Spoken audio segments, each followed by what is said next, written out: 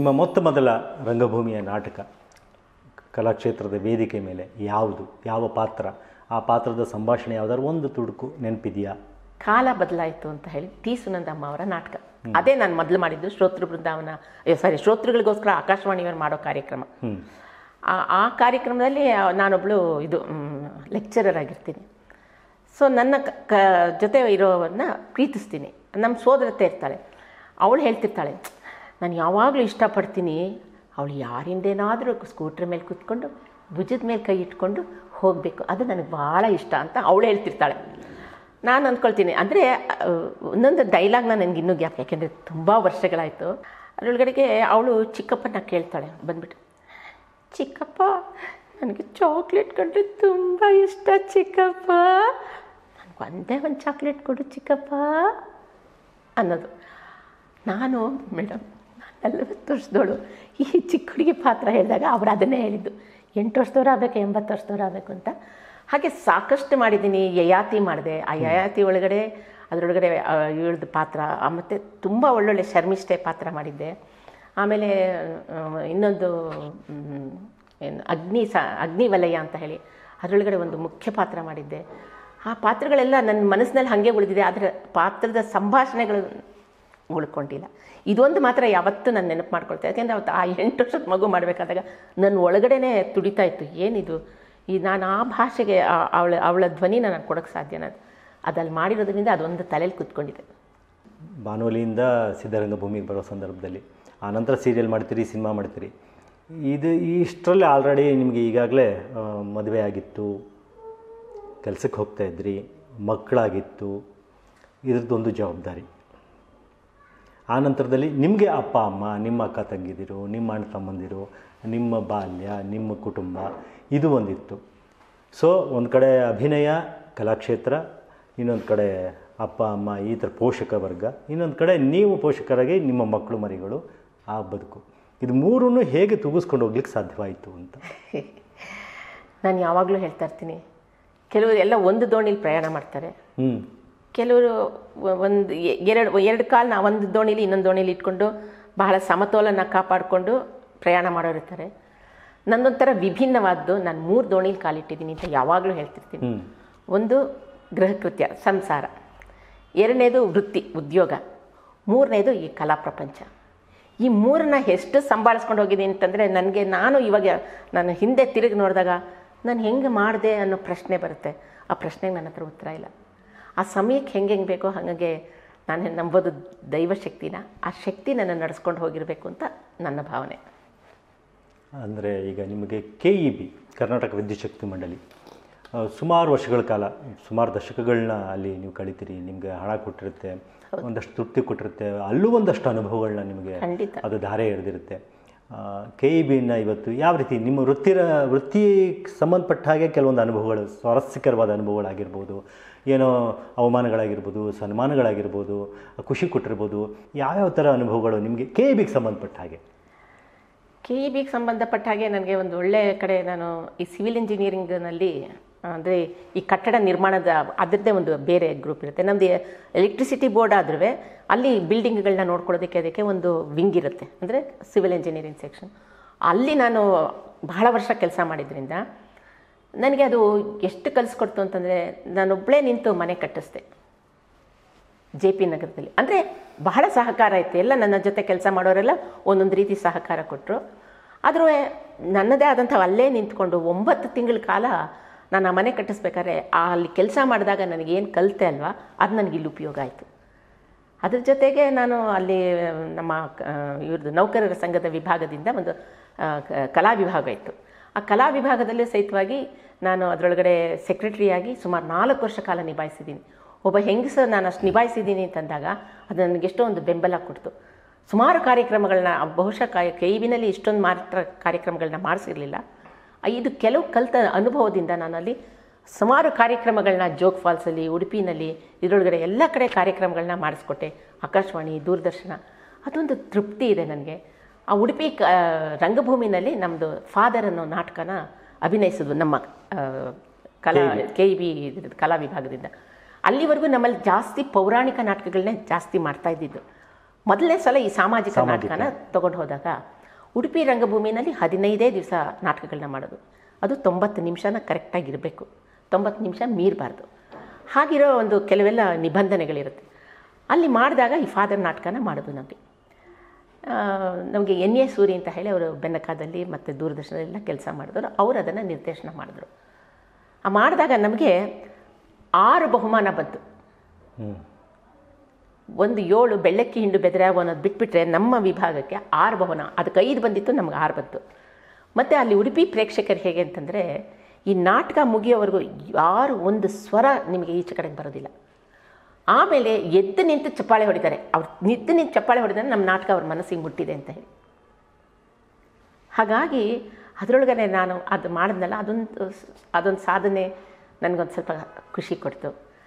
So ಹಾಗಾಗಿ ಅದರಿಂದ ಕಲ್ತಿದ್ದು ನಾನು, ಅಂದರೆ ಇನ್ನು ಕೆಲವು ತೊಂದರೆಗಳಾಗಿದ್ದು ಅಂದರೆ ಬೆಳ್ಳಿ ಬೆಳಕು ಅನ್ನೋ ಸಿನಿಮಾನ ನಾನು ಮೊಟ್ಟ ಮೊದಲನೇದಾಗಿ ಮಾಡಿದ್ದು, ಲೋಕೇಶ್ ಅವ್ರ ಜೊತೆ. ಅದೇನಾಯಿತು, ನಾಟಕ ಮಾಡಿದಾಗ ಅದು ಹೆಚ್ಚು ಕಮ್ಮಿ ಒಂದು ತಿಂಗಳ ಕಾಲ ಅಲ್ಲಿ ಮೈಸೂರಲ್ಲೇ ಇದ್ಬಿಟ್ಟು ಮಾಡಿಬಿಟ್ಟು ಅಲ್ಲಿಂದ ಬಂದ ನಂತರ ಏನಾಯಿತು, ನನಗೆ ಒಂದು ರಜಾ ಕೊಡಲಿಲ್ಲ. ಬೇರೆಯವರೆಲ್ಲರಿಗೂ ಕೊಟ್ಟು ನಮ್ಮ ವಿದ್ಯುತ್ ಚಕ್ನಿ ಮಾಡಲಿಲ್ಲ ರಜಾ ಕೊಡಲಿಲ್ಲ. ಆವಾಗ ಏನಾಯಿತು ಲಾಸ್ ಆಫ್ ಪೇ ಆಯಿತು, ಎಲ್ಲ ಆಗೋಯ್ತು. ಇದ್ರ ಜೊತೆಗೆ ನೋಟಿಸ್ ಬೇರೆ ಮೆಮೊ ರೆಡಿ ಇತ್ತು.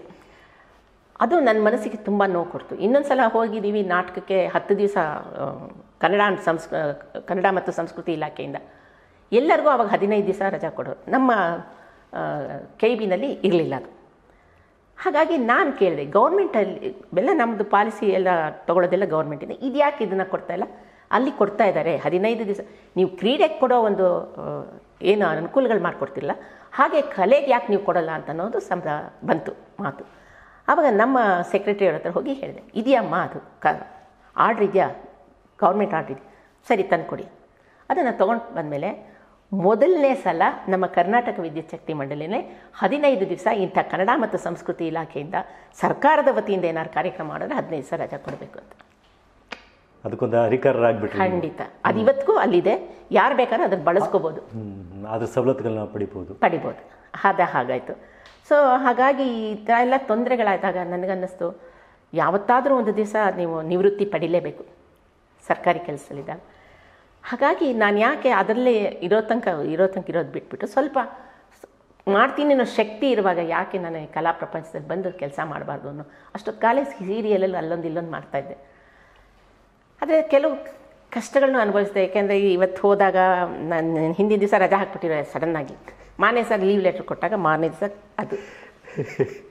ಯಾಕೆ? ಒಂದು ಮೆಮೊ ನಿಮ್ಮನ್ನು ಯಾಕೆ ನಾವು ಆ್ಯಕ್ಷನ್ ತಗೋ? ಇದೆಲ್ಲ ನೋಡಿ. ಅಲ್ಲ ನಿಜ ಕೆಲವು ಕಡೆ ಇರುತ್ತೆ ಕೆಲವು ಕಡೆ ಏನಾಗಿರುತ್ತೆ ತುಂಬ ಪ್ರೋತ್ಸಾಹ ಕೊಡೋರು ಇರ್ತಾರೆ. ಕೆಲವು ಕಡೆ ನಮ್ಮ ಜೊತೆ ಸಹ ಉದ್ಯೋಗಿಗಳು ಇರ್ತಾರಲ್ಲ ಸಹೋದ್ಯೋಗಿಗಳು ಅವರು ಸಹಿತವಾಗಿ ಕೆಲವೊಮ್ಮೆ ಓ ಇವರು ಅಲ್ಲೆಲ್ಲೋ ಹೋಗ್ತಾರೆ ದುಡ್ಡು ತೊಗೊಂಬಂದ್ಬಿಡ್ತಾರೆ. ಅವ್ರಿಗೆ ಇಲ್ಲಿ ಏನು ಕಷ್ಟ ಅನ್ನೋದು ಅವ್ರಿಗೆ ಗೊತ್ತಿರೋದೆ. ಅವ್ರು ನಿಜ, ಅವ್ರಿಗೆ ಗೊತ್ತಿಲ್ಲ. ಹಾಗಾಗಿ ನಾನೇನು ಮಾಡಿದೆ ಒಂದು ಪೆನ್ಷನ್ ನಮ್ಮಲ್ಲಿ ಇಪ್ಪತ್ತು ವರ್ಷ ಆದ ತಕ್ಷಣ ನೀವು ಸ್ವಯಂ ನಿವೃತ್ತಿ ಪಡಿಬೋದು. ಆ ಸ್ವಯಂ ನಿವೃತ್ತಿ ಪಡೆದಾಗ ನಿಮಗೆ ಅದಕ್ಕೆ ತಿಂಗಳು ತಿಂಗಳು ಒಂದು ಪೆನ್ಷನ್ ಬರುತ್ತೆ. ಪಿಂಚಣಿ ಅಂತೀವಿ, ಪೆನ್ಷನ್ ಬರುತ್ತೆ.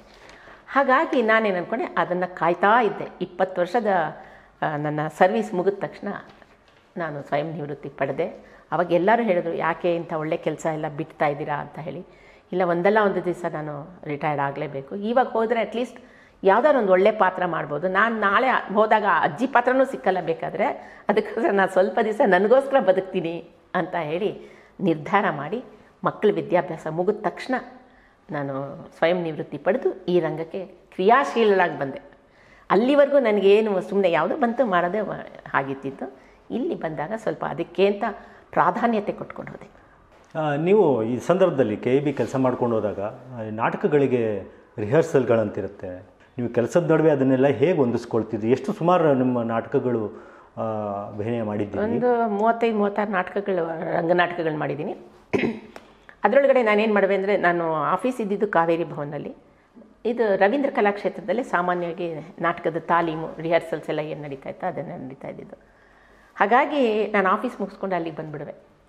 ಐದುವರೆಗೆ ಬಂದರೆ ಆರು ಗಂಟೆಯಿಂದ ಒಂದು ಏಳು ಗಂಟೆ ತನಕ ರಿಹರ್ಸಲ್ ಮಾಡಿಕೊಂಡು ಮನೆಗೆ ಬರೋ ಅಷ್ಟೋ ತನಕ ನಮ್ಮ ಮನೆಯವರು ಮ್ಯಾನೇಜ್ ಮಾಡ್ತಾಯಿದ್ರು ಅದರಿಂದ ನನಗೆ ಅಷ್ಟೊಂದು ಕಷ್ಟ ಗೊತ್ತಾಗಲಿಲ್ಲ.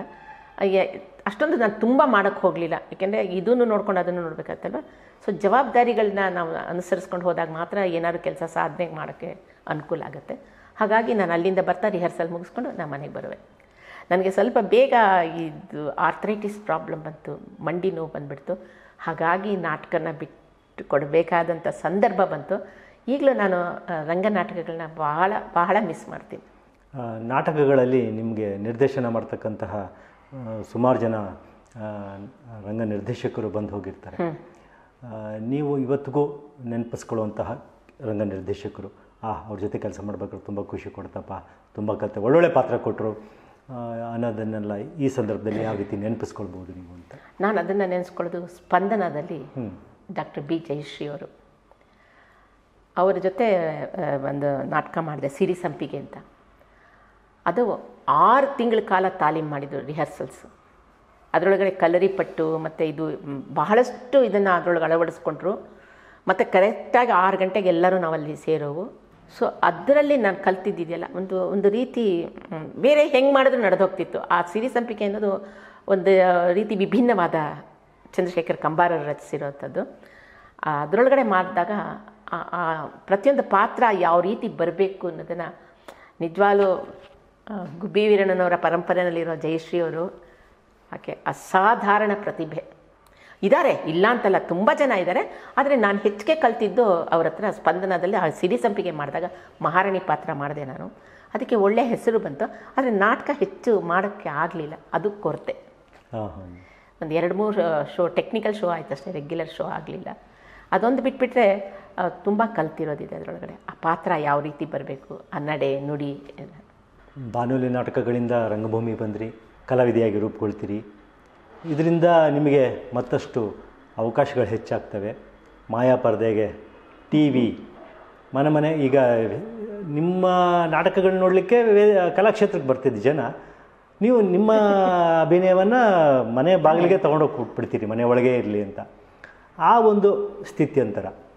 ಎಷ್ಟು ವರ್ಷಗಳ ನಂತರ ರಂಗಭೂಮಿಲಿ ಇಷ್ಟು ವರ್ಷ ಸೇವೆ ಮಾಡಿದ ನಂತರ ನೀವು ಅಲ್ಲಿಗೆ ಜಂಪ್ ಆಗ್ತೀರಿ? ಅಥವಾ ತುಂಬ ಇಲ್ಲ ಒಂದು ಎರಡು ಮೂರು ನಾಟಕ ಮಾಡ್ತಾ ಇದ್ದಾಗೆ ನಿಮ್ಗೆ ಅವಕಾಶ ಸಿಕ್ಬಿಡ್ತಾ? ಇಲ್ಲ ಹತ್ತು ವರ್ಷ ತೊಗೊಂಡಿದೆ. ಯಾಕೆಂದರೆ ಎಪ್ಪತ್ತಾರರಲ್ಲಿ ನಾನು ರಂಗಭೂಮಿಯಲ್ಲಿ ಫಸ್ಟ್ ಮಾಡಿದ್ದು. ಎಂಬತ್ತಾರರಲ್ಲಿ ಮೊದಲನೇ ಸಲ ನಾನು ಏನೋ ಕೆಲಸದ ನಿಮಿತ್ತ ನಾನು ದೂರದರ್ಶನಕ್ಕೆ ಹೋದಾಗ ಇದೇ ಎನ್ ಎ ಸೂರಿಯವರು ಅವಾಗ ಫ್ಲೋರ್ ಮ್ಯಾನೇಜರ್ ಆಗಿದ್ದರು ಅವ್ರನ್ನ ನಾನು ತುಂಬ ನೆನೆಸ್ಕೋತೀನಿ. ಯಾಕೆಂದರೆ ಮೊದಲು ಅವಕಾಶ ಕೊಟ್ಟವರು ಅವರು. ಅವರೇನು ಹೇಳಿದ್ರು ನಾವೊಂದು ದೂರದರ್ಶನಕ್ಕೆ ಒಂದು ಕಾರ್ಯಕ್ರಮ ಮಾಡ್ತಾಯಿದ್ದೀವಿ ಅದರೊಳಗಡೆ ನೀವು ಅಭಿನಯಿಸ್ತೀರಾ ಅಂದರು. ಸರ್ ನನಗೆ ಅವಕಾಶ ಸಿಕ್ಕಿದ್ರೆ ನಾನು ಮಾಡ್ತೀನಿ ಅಂತ ಹೇಳಿದೆ. ಹಾಗಾಗಿ ಅವ್ರು ಕೊಟ್ಟ ನಂತರ ಅದು ಐದು ದಿವಸ ಅದಕ್ಕೆ ರಿಹರ್ಸಲ್ ಮಾಡೋದು. ನೆರಳು ಅಂತ ಹೇಳಿ ಅದೊಂದು ಟೆಲಿಫಿಲಮ್ ಟೆಲಿಫಿಲಮ್ ಅಂದರೆ ಫುಲ್ಲು ತೊಂಬತ್ತು ನಿಮಿಷಕ್ಕೆ ಒಂದೇ ನಾಟಕ. ಅದು ಬಂದಾಗ ನನಗೆ ಅದರೊಳಗಡೆ ಒಂದು ಮುಖ್ಯ ಪಾತ್ರ. ನಾನು ಅಲ್ಲಿವರೆಗೂ ಕ್ಯಾಮ್ರಾನ ನೋಡಿಲ್ಲದೆ ಹೇಳ್ತಿದ್ದಳು ಅದಕ್ಕೆ ಮುಖ್ಯ ಪಾತ್ರ ಕೊಟ್ಟರು ಅದು ತೊಂಬತ್ತು ನಿಮಿಷಗಳ ಕಾಲ ದೂರದರ್ಶನದಲ್ಲಿ ಒಂದೇ ಒಂದು ಕಾರ್ಯಕ್ರಮ ಬಹುಶಃ ಆ ಥರ ನಡೆದಿದ್ದದು ಅನ್ಸುತ್ತೆ. ಅದರೊಳಗಡೆ ಅವಳು ಹದಿನಾರು ವರ್ಷದ ಹುಡುಗಿಯಿಂದ ಹಿಡಿದು ಅರವತ್ತು ವರ್ಷದ ತನಕ ಪಾತ್ರ ಹೋಗುತ್ತೆ. ಅದು ಅವಳದೇ ಮುಖ್ಯ ಪಾತ್ರ. ಅದನ್ನು ನನಗೆ ಅವಕಾಶ ಮಾಡಿಕೊಟ್ರು. ಆ ಮೂಲಕ ಕಿರುತೆರೆಗೆ ನನ್ನ ಪಾದಾರ್ಪಣೆ ಆಯಿತು. ಹೇಗಿತ್ತು ಆ ಮೊದಲನೇ ಅನುಭವ? ಕ್ಯಾಮರಾ ಎದುರಿಸಿದ್ದು? ಕ್ಯಾಮ್ರಾ ಎದುರಿಸೋಕ್ಕಿಂತ ಕ್ಯಾಮ್ರಾ ಎದುರಿಸಿದ ನಂತರ ಅದು ಪ್ರಸಾರ ಆಯ್ತಲ್ಲ? ಜನವರಿ ಸಾವಿರದ ಒಂಬೈನೂರ ಎಂಬತ್ತೇಳರಲ್ಲಿ ಪ್ರಸಾರ ಆಯಿತು. ಇಪ್ಪತ್ತೇಳನೇ ತಾರೀಕು. ನನಗೆ ಅದು ಸಹಿತ ಜ್ಞಾಪಕ ಇದೆ. ಅದು ಪ್ರಸಾರ ಆಗಿದ್ದ ಮಾರನೇ ದಿವಸ ಏನೋ ನಾನು ಗಾಂಧಿ ಬಜಾರಲ್ಲಿ ಹೋಗ್ತಾ ಇದ್ದೀನಿ. ಅಲ್ಲಿ ಒಬ್ಬ ಹೆಂಗಸು ಸಿಕ್ಬಿಟ್ಟು ನೋಡಿದ್ರು ನೋಡಿದ್ರು ನಾನು ನಂಗೆ ಗೊತ್ತಿಲ್ಲ ಅವ್ರು ಯಾರಂತ ಮೇಡಮ್ ನೀವು ನೆನೆ ಕರಿ ನೆರಳಲ್ಲಿ ಮಾಡಿದ್ರಲ್ವಾ? ಅಂದರು. ಅಂದರೆ ಆಕೆ ಎಷ್ಟು ಉದ್ವೇಗ ಹಾಕ್ಕೊಂಡಿದ್ಲು ಅಂದರೆ ಅದು ನನ್ನದೇ ಕಥೆ. ಅಂದರೆ ನಾನು ಜೀವನದಲ್ಲಿ ಎದುರಿಸಿರೋದು ನಮ್ಮ ಮನೆಗೆ ಬನ್ನಿ ಮೇಡಮ್ ನನ್ನ ಮಕ್ಕಳು ನೋಡಿದ್ರೆ ನಿಮ್ಮನ್ನು ತುಂಬ ಸಂತೋಷ ಪಡ್ತಾರೆ ಅಂತ ಕರೆದ್ರು. ಆಗ ಅದು ಹೆಂಗಿತ್ತು ಅದ್ರದ್ದು ಅನುಭವ ಅಂತಂದರೆ, ಒಂದೇ ದಿವಸದಲ್ಲಿ ನಾನು ಅಲ್ಲಿವರೆಗೂ ನನಗೆ ಯಾರು ಯಾರು ನನ್ನನ್ನು ಗೊತ್ತು ಹಿಡಿದೇ ಇದ್ರು. ನನ್ನ ಹತ್ರ ನಾನು ಕೋಟ್ಯಾಧಿಪತಿ ಆಗಿದ್ದರೂ ಗುರ್ತು ಹಿಡಿದೇ ಇರೋವಂಥ ಸಂದರ್ಭದಲ್ಲಿ ಒಂದೇ ದಿವಸ ಆ ಪರದೆ ಮೇಲೆ ಬಂದ ತಕ್ಷಣ ಎಷ್ಟು ಬೇಗ ಗುರ್ತಿಡಿದ್ರು ಅಂದಾಗ ಅದು ಆ ಅನುಭವ ಮರೆಯೋಕ್ಕಾಗಲ್ಲ. ಆ ನೆರಳಿನ ಕತೆ ಆ ನೆರಳು ಕಥೆಯಲ್ಲಿ ನಿಮ್ಮ ಪಾತ್ರ? ಬೆಳಕು ನೆಡೆ ಕರ್ಕೊಂಡೋಯ್ತು ನೀವು ಇವತ್ತು ಏನು ಜ್ಞಾನವೃದ್ಧರಾಗಿ ವಯೋವೃದ್ಧ ಅಂತ ಹೇಳಲ್ಲ. ಯಾಕೆ ಅಂತ ಹೇಳಿದ್ರೆ ನಿಮ್ಮಲ್ಲಿ ಆ ಉತ್ಸಾಹ ಇದೆ ಲವಲವಿಕೆ ಇದೆ.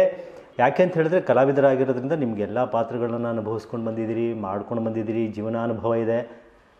ಇವತ್ತಿನ ಈ ಸಂದರ್ಭದಲ್ಲಿ ನೀವು ನೋಡಿದಾಗ ನೀವು ಬಾಲ್ಯದಲ್ಲಿ ಬೆಳೆದ ರೀತಿ ನಿಮ್ಮ ಅಪ್ಪ ಅಮ್ಮ ನಿಮ್ಮನ್ನು ನೋಡ್ಕೊಂಡ ರೀತಿ ಅವ್ರು ಕಷ್ಟಪಟ್ಟು ನಿಮ್ಮನ್ನು ಸಾಕಿ ಸಲಹಿದ ರೀತಿ ನಿಮ್ಮ ಅಕ್ಕ ತಂಗಿ ಅಣ್ಣ ತಮ್ಮ ನಿಮ್ಮ ಶಾಲೆ ನಿಮ್ಮ ಗೆಳೆಯ ಗೆಳತಿಯರು ಇವತ್ತು ಈ ಸಂದರ್ಭದಲ್ಲಿ ಹೇಗೆ ಎಲ್ಲರೂ ನೆನಪಾಗಿ ಒಂದೊಂದೇ ಸಾಲಲ್ಲಿ ಬರ್ತಾರೆ ಅಂತ? ನನಗೆ ತುಂಬ ಬರುತ್ತದು ಹ್ಞೂ ಯಾಕೆಂದರೆ ನನಗೆ ನಾನು ಯಾವುದನ್ನು ಮರ್ತಿಲ್ಲ. ನನ್ನ ಬಾಲ್ಯ ಆಗಿರ್ಬೋದು ಇದಾಗಿರ್ಬೋದು ಪ್ರತಿಯೊಂದು ನನಗೆ ಹಾಗೆ ಒಂದು ಇವತ್ತಿನ ದಿವಸ ವಿಡಿಯೋನ ಮಾಡಿದ್ರೆ ನಿಮ್ಗೆ ಹೇಗೆ ಕಣ್ಣು ಮುಂದೆ ಬರುತ್ತಾ ಹಂಗೆ ಬರುತ್ತೆ. ಅದರೊಳಗಡೆ ನನಗೆ ತುಂಬ ನೋವಾಗೋದಂದರೆ ನಮ್ಮ ತಂದೆ. ನಮ್ಮ ತಂದೆ ಎಷ್ಟು ಸಾಧು ಸಜ್ಜನ ಅಂತಂದರೆ ಪಾಪ ಒಂದು ದಿವಸ ಒಂದು ಮಗುಗೆ ರೇಗ್ದೋರಲ್ಲ, ಬೈದೋರಲ್ಲ.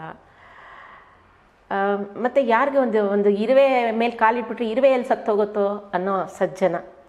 ಅತ್ತ ಉತ್ಪ್ರೇಕ್ಷೆ ಮಾಡ್ತಾ ಇಲ್ಲ ನಾನು. ಅಷ್ಟು ಸಾಧು. ಯಾರಿಗೂ ಯಾವುದಕ್ಕೂ ತೊಂದರೆ ಮಾಡ್ತಾ ಇಲ್ಲ ಒಂದು ಓದೋದು ಓದಬೇಕು, ನೀನು ಹಂಗೆ ಮಾಡ್ತೀನಿ ಹಿಂಗೆ ಮಾಡ್ತೀನಿ ಅಂತ ಒಂದು ದಿವಸ ರೇಗ್ದೋರಲ್ಲ. ಬಹಳ ಬೇಗ ಅಂದರೆ ತುಂಬ ಅವ್ರಿಗೆ ಆಗ ಎಪ್ಪತ್ನಾಲ್ಕು ವರ್ಷ ಆಗಿತ್ತು, ಅವ್ರಿಗೆ ಸ್ವಲ್ಪ ಮೆದುಳಿನಲ್ಲಿ ನೀರು ಸೇರಿ, ಸೇರ್ತಾ ಇದೆ ಅಂಥೇಳಿ ಒಂದು ಆಪ್ರೇಷನ್ ಮಾಡಿದ್ರು. ಆಪ್ರೇಷನ್ ಮಾಡಿದಾಗ ಅದು ಆಪ್ರೇಷನ್ನು ಸಕ್ಸಸ್ಸು ಪೇಷಂಟ್ ಡೈಡ್ ಅಂತಾರಲ್ಲ, ಹಾಗೆ ಅಲ್ಲಿ ಅವರಿಗೆ ಇನ್ಫೆಕ್ಷನ್ ಆಗೋಗ್ಬಿಟ್ಟು, ಅವರು ಕೋಮಾಗಿ ಹೋಗ್ಬಿಟ್ಟು ತೀರ್ಕೊಂಬಿಟ್ರು ಅವರಿಗೆ ಮಗಳು ತಂಗ್ ಒಳ್ಳೆ ಸಂಗೀತ ಕಲಿಬೇಕು ಅನ್ನೋ ಆಸೆ ತುಂಬ ಇಟ್ಕೊಂಡಿದ್ರು. ಯಾರು ಮಗಳು? ಎಷ್ಟು ಜನ ಮಕ್ಕಳು ನೀವು? ನಮ್ಮ ತಂದೆಗೆ ಐದು ಜನ ಹೆಣ್ಮಕ್ಳು ಇಬ್ಬರು ಗಂಡು ಮಕ್ಕಳು ಆದರೆ ಅದೇನೋ ನನಗೆ ಯಾವಾಗಲೂ ಹಾಗೆ ಅಂತಂದ್ರೆ ಸಂಗೀತ ಕಲಿಬೇಕು ಅಂತ ಆಸೆ ಅವರಿಗೆ ತುಂಬ ಇತ್ತು. ಕಲಸು ಕಲಿಸಿದ್ರು. ಆದರೆ ಅದನ್ನು ನಾನು ಮುಂದುವರ್ಸೋಕ್ಕೆ ಯಾಕೋ ಬಹುಶಃ ನನಗೆ ಅದೃಷ್ಟ ಇರಲಿಲ್ಲ ಅನಿಸುತ್ತೆ. ಅದಲ್ಲೇ ನಿಂತೋಯ್ತು. ಸೊ ಎಂಬತ್ತೊಂದರಲ್ಲಿ ನಮ್ಮ ತಂದೆ ತೀರ್ಕೊಂಡ್ರು. ಅಷ್ಟೊತ್ತಿಗೆ ನಾನೇನು ಈ ಥರ ಇದ್ರೊಳಗಡೆ ಬಂದಿಲ್ಲ. ಈಗಲೂ ಆ ತಂದೆ ಮಗಳ ಬಾಂಧವ್ಯ ನೋಡಿದಾಗ ತುಂಬ ಮಿಸ್ ಮಾಡ್ತೀನಿ ಅವ್ರನ್ನ.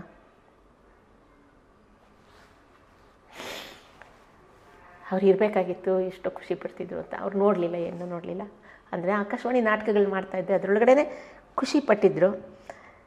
ಆ, ಥರ ಒಂದು ಸಂತೋಷ ಕೊಡೋ ಯೋಗ ಆಗಲಿ ಭಾಗ್ಯ ಆಗಲಿ ನನಗೆ ಬರಲಿಲ್ಲ. ಅದೊಂದು ನೋವಾಗುತ್ತೆ. ಮನೆಯಲ್ಲಿ ನಾವು ಇಷ್ಟು ಜನ ಇದ್ದರೂ ಸಹಿತವಾಗಿ ಅಮ್ಮ ಥರ ಮೊದಲಿಂದನೂ ಈ ಥರನೇ ನಡಿಬೇಕು ಹಿಂಗೆ ನಡಿಬೇಕು ಅಂತ ನಮಗೆ ಮಾರ್ಗದರ್ಶನ ಮಾಡಿಕೊಟ್ರು ತಾಯಿ. ಶಿಸ್ತಿನ ವ್ಯಕ್ತಿ. ಶಿಸ್ತಿನ ವ್ಯಕ್ತಿ ಅವರು. ಅಂದರೆ ಎಲ್ಲಿಗಾರು ಹೋಗು ಏಳು ಗಂಟೆ ಒಳಗೆ ನೀನು ಬರಬೇಕು. ಹಿಂಗೆ ಹೋಗಬಾರ್ದು ಹಂಗೆ ಹೋಗಬಾರ್ದು ಅಂತೆಲ್ಲ ಹೇಳ್ತಾ ಇರಲಿಲ್ಲ. ಹಿಂಗೆ ಓದಬೇಕು ಹಿಂಗೆ ಕೆಲಸ ಮಾಡಬೇಕು ಅಂತಲೂ ಹೇಳ್ತಾ ಇರಲಿಲ್ಲ. ಆದರೆ ಅವ್ರು ಕಲಿಸ್ಕೊಟ್ಟಿದ್ದು ಹೆಂಗೆ ಆಯಿತು ಅಂತಂದರೆ ನಮ್ಗೆ ಇವತ್ತಿಗೂ ಮಾರ್ಗದರ್ಶನ. ಅದಕ್ಕೆ ತಂದೆ ತಾಯಿಗಳ ಜವಾಬ್ದಾರಿ ಎಷ್ಟಿದೆ ಅಂದರೆ ಸುಮ್ಮನೆ ಅವ್ರನ್ನ ಒಂದು ಹಿಡಿತದಲ್ಲಿ ಇಟ್ಕೊಂಡು ಅವ್ರನ್ನ ಹಿಂಗೆ ಬೆಳೆಸ್ಬೇಕು ಹಾಗೆ ಬೆಳೆಸ್ಕೊಡ್ಬೇಕು ಅನ್ನೋದು ಅದು ಇವತ್ತಿನ ಕಾಲದಲ್ಲೂ ಪಾಪ ಬಹಳಷ್ಟು ಜನ ತಂದೆ ತಾಯಿಗಳು ತಿಳ್ಕೊಂಡಿದ್ದಾರೆ. ಮಕ್ಕಳಿಗೆ ತುಂಬ ಅಧಿಕಾರವಾಣಿಯಲ್ಲಿ ಹೇಳಿದ್ರೆ ಉಪಯೋಗ ಆಗೋದಿಲ್ಲ ಅಂತ. ಹಾಗೆ ಅವರು ನಮ್ಗೆ ಯಾವತ್ತೂ ಹಿಂಗೆ ಮಾಡಬಾರ್ದು, ಹಂಗೆ ಮಾಡಬಾರ್ದು ಅಂತ ಹೇಳ್ತಾರೆ. ನೋಡು, ಜವಾಬ್ದಾರಿ ನಿಂದು. ನಾಳೆ ಏನಾದ್ರು ತೊಂದರೆ ಆಯಿತು ಅಂದರೆ ನೀನೇ ಅನುಭವಿಸೋಳು, ನಮಗೇನಿಲ್ಲ. ಆ ರೀತಿ ಪ್ರತಿಯೊಂದನ್ನು ಅದಕ್ಕೆ ಇವತ್ತಿಗೆ ತಂದೆ ತಾಯಿಗಳು ಹೀಗೆ ಶಿಸ್ತು ಶಿಸ್ತು, ಡಿಸಿಪ್ಲಿನ್ ಅಂತ ಹೇಳಿ ಮಾಡ್ತಾ ಇದ್ದಿದ್ದು ಒಂದು ಕಾಲ ಆಯಿತು. ಇವತ್ತು ಸ್ವಲ್ಪ ಗೊತ್ತಾಗೋಗಿದೆ ಮಕ್ಕಳುಗಳತ್ತೆಲ್ಲ ಹೇಳಿದ್ರೆ ಕೇಳಲ್ಲ ಅನ್ನೋದು ಗೊತ್ತಾಗಿದೆ. ಸೊ ಅವರಿಗೆ ಯಾವ ರೀತಿ ಜಾಣತನದಿಂದ ಅವರಿಗೆ ಬುದ್ಧಿ ಹೇಳಿದಾಗ ಮಕ್ಕಳ ಮನಸ್ಸಿಗೆ ಒಂದು ಸ್ವಲ್ಪ ಪರಿಣಾಮ ಉಂಟಾಗುತ್ತೆ. ಅಂತ ಅನ್ನೋದನ್ನು ನಾವು ಕಲ್ತಿದ್ದು. ಈಗ ನಾನು ನನ್ನ ಮಕ್ಕಳನ್ನ ಬೆಳೆಸಿದಾಗ, ನೋಡಪ್ಪ, ಹೀಗೆ ಹೋದರೆ ಹೀಗಾಗುತ್ತೆ. ಈಗ ಒಂದು ಒಳ್ಳೆ ದಾರಿ ತೋರಿಸ್ತೀವಿ. ಆ ದಾರಿಲಿ ಹೋದರೆ ನಿನಗೆ ಬಳಕೆ ಆಗುತ್ತೆ. ಇಲ್ಲ, ನಾನು ಈ ಕಡೆ ಹೋಗ್ತೀನಿ, ಅಂದರೆ ಕಾಡು ಮೇಡು ಆದರೆ ಕಲ್ ಚುಚ್ಕೊಂಡು ಪ್ರಾಣಿಗಳಿಗೆ ಸಿಕ್ಕಾಕ್ಕೊಂಡು ಬರ್ತೀರಾ? ಅಂತ ಈ ರೀತಿ ಹೇಳಿಕೊಂಡು ಆದಷ್ಟು ಸರಿ ದಾರಿಯಲ್ಲಿ ನಡ್ಕೊಂಡು ಹೋಗಿ ಅಂತ ಹೇಳ್ತದೆ. ಯಾಕೆಂದ್ರೆ ನಮ್ಮ ತಂದೆ ತಾಯಿಗಳು ನಮಗೆ ಹೇಳ್ಕೊಟ್ಟಿದ್ದನ್ನು. ಹಾಗಾಗಿ ನನಗನ್ಸುತ್ತೆ ಅಲ್ಲಿಂದ ನಾನು ಕಲ್ತಿದ್ದು ತುಂಬ ಇದೆ ಅವರಿಂದ. ಅಂತ ಹೇಳಿ. ರಾಧಾ ರಾಮಚಂದ್ರ ಅವರು ಕಲಾವಿದೆಯಾಗಿ ನಮ್ಮ ಕರ್ನಾಟಕದ ಜನತೆಗೆ ಸಾಕಷ್ಟು ಚಿರಪರಿಚಿತರು. ಹೌದು ರಾಧಾ ರಾಮಚಂದ್ರ ಅವ್ರ ಮಕ್ಕಳು ಏನು ಮಾಡ್ತಿದ್ದಾರೆ? ತಿಳ್ಕೊಳ್ಳೋ ಕುತೂಹಲ ಇರುತ್ತೆ. ಇವರು ಇಷ್ಟೊಂದು ಏನು ಪ್ರಬುದ್ಧರಾಗಿ ಆಲೋಚನೆ ಮಾಡ್ತಾರೆ ಒಳ್ಳೆ ನಟಿ ಇವ್ರ ಮಕ್ಕಳನ್ನ ಹೇಗೆ ಬೆಳೆಸಿರಬೇಕು ಅವ್ರು ಏನು ಮಾಡ್ಕೊಂಡಿದ್ದಾರೆ ಅನ್ನೋ ಕುತೂಹಲನೂ ಇರ್ಬೋದು. ಏನು ನಿಮ್ಮ ಮಕ್ಕಳೆಲ್ಲ ಏನು ಮಾಡ್ತಿದ್ದಾರೆ? ನನಗೆ ನನ್ನ ನನಗೆ ಇಬ್ಬರು ಗಂಡು ಮಕ್ಕಳು ದೊಡ್ಡ ಮಗ ಇಲ್ಲಿ ಬಾಗಲಕೋಟೆನಲ್ಲಿ ಇಂಜಿನಿಯರಿಂಗ್ ಮುಗಿಸಿ ಆಮೇಲೆ ಅಮೇರಿಕಕ್ಕೆ ಹೋಗಿ ಫಿಲಡೆಲ್ಫಿಯಾದಲ್ಲಿ ಎಂ ಎಸ್ ಮಾಡ್ದ. ಆಮೇಲೆ ಅಲ್ಲೇ ಕೆಲಸ ಸಿಕ್ತು. ಬೆಂಗಳೂರು ಹುಡುಗಿ ಜೊತೆ ಮದುವೆ ಆಯಿತು. ಅವನಲ್ಲೇ ಇದ್ದಾನೆ. ಒಬ್ಬ ಮಗಳು, ಒಬ್ಬ ಮಗ ಇದ್ದಾನೆ. ಮಗಳು ಈಗ ಇಂಜಿನಿಯರಿಂಗ್ ಮುಗಿಸಿದ್ದಾಳೆ. ಮಗ ಟೆಂತ್ ಎತ್ತ ಪ್ಲಸ್ ಟೂನಲ್ಲಿದ್ದಾನೆ ಚಿಕ್ಕ ಮಗ ಮೆಡಿಕಲ್ ಡಾಕ್ಟ್ರು ಸೊ ಡಾಕ್ಟ್ರ್ ಆಗಿರೋದ್ರಿಂದ ನನ್ನ ಸೊಸೆನೂ ಇಲ್ಲಿ ಎನ್ ಐ ಸಿ ಯುನಲ್ಲಿ ವರ್ಕ್ ಮಾಡ್ತಾಳೆ. ನಿಯೋನೆಟಾಲಜಿಸ್ಟು ಅವಳಿಗೆ ಇಬ್ಬರು ಇಬ್ರಿಗೂ ಇದು, ಅವಳಿ ಮಕ್ಕಳು ಅವರು ಪ್ಲಸ್ ಟೂನಲ್ಲಿದ್ದಾರೆ ಹಾಗಾಗಿ ವಿದ್ಯೆನಲ್ಲಿ ದೇವ್ರ ದಯದಿಂದ ಅವ್ರ ಪಾಡಿಗೆ ಅವರು ಹೇಗೋ ಮುಂದುವರ್ಕೊಂಡು ಬಂದರು. ಅದೊಂದು ಸಂತೋಷ ನನಗೆ. ಏಕೆಂದರೆ ಮಕ್ಕಳಿಗೆ ನಾವು ತಂದೆ ತಾಯಿ ಕೊಡಬೇಕಾಗಿರೋದು ಅವರಿಗೆ ಮೂಲಭೂತವಾದಂಥ ಒಂದು, ಈಗ ಜನನ ನೋಡಿದಾಗ ಗೌರವಿಸೋದು, ಮತ್ತು ಒಳ್ಳೆ ರೀತಿಲಿ ಸಚ್ಚಾರಿತ್ರ್ಯದಿಂದ ನಡ್ಕೊಂಡು ಹೋಗುವಂಥದ್ದು ಎರಡನ್ನ ನಾವು ಕೊಡಬೇಕು. ಉಳಿದಿರೋದು ಅವರು ವಿದ್ಯಾಭ್ಯಾಸ ಓದಿದ ತಕ್ಷಣ ಏನು ಬೇಕಾದ್ರೂ ಮಾಡಿದ್ರು ಅಂತಲ್ಲ, ಆ ವಿಷಯದಲ್ಲಿ ದೇವ್ರ ದಯದಿಂದ ನನ್ನ ಮಕ್ಕಳು ಬಹಳ ಒಳ್ಳೆ ಮಕ್ಕಳು ತುಂಬ ಒಳ್ಳೆ ಮಕ್ಕಳು ಅವ್ರ ಪಾಡಿಗೆ ಅವರು ಗೌರವದಿಂದ ಬದುಕ್ತಾ ಇದ್ದಾರೆ, ನಮ್ಮನ್ನು ಗೌರವದಿಂದ ಕಾಣ್ತಾ ಇದ್ದಾರೆ. ಚಿಕ್ಕ ಮಗ ಇಲ್ಲೇ ನಮ್ಮ ಜೊತೆ ಇದ್ದಾನೆ, ಅವನು ಅಮೇರಿಕಾದಲ್ಲಿದ್ದಾನೆ. ಅವನು ಅಷ್ಟೇ, ಪ್ರತಿಯೊಂದಕ್ಕೂ ಏನಾದರೂ ಮಾಡಿ ಫಸ್ಟ್ ನಿಮ್ಮನ್ನು ನೀವು ನೋಡ್ಕೊಂಡು ಮಾಡಿ ಅಂತ ಹೇಳ್ತಾನೆ. ಅಂದರೆ ನಿಮ್ಮ ಆರೋಗ್ಯದ ಕಡೆ ನೋಡಿ. ಡಾಕ್ಟ್ರ್ ಅಲ್ವಾ? ಅದರಿಂದ ನೋಡ್ಕೊಳ್ಳಿ ಅಂತ ಹೇಳ್ತಾನೆ. ಆದರೆ ಅವನಿಗೆ ಖುಷಿ ಇದೆ ಒಂಥರ ಮಾಡ್ತಾ ಇದ್ದಾನೆ ಅಂತ. ಅದು ವಿಷಯದಲ್ಲಿ ನಾನು ತುಂಬ ಅದೃಷ್ಟ ಅಂತ ನಾನು ಹೇಳ್ಕೊಳ್ತೀನಿ. ಬೇರೆ ಯಾವುದೇ ರೀತಿ ಹವ್ಯಾಸಗಳಿಗೆ ಹೋಗದೆ, ಮತ್ತು ಯಾವುದೇ ಇಲ್ಲ. ಅಂದರೆ ತಮ್ಮ ಕೆಲಸದಲ್ಲಿ ಒಂದು ಒಳ್ಳೆಯ ಹೆಸರು ತಗೊಂಡು ಇಬ್ಬರು ಇದ್ದಾರೆ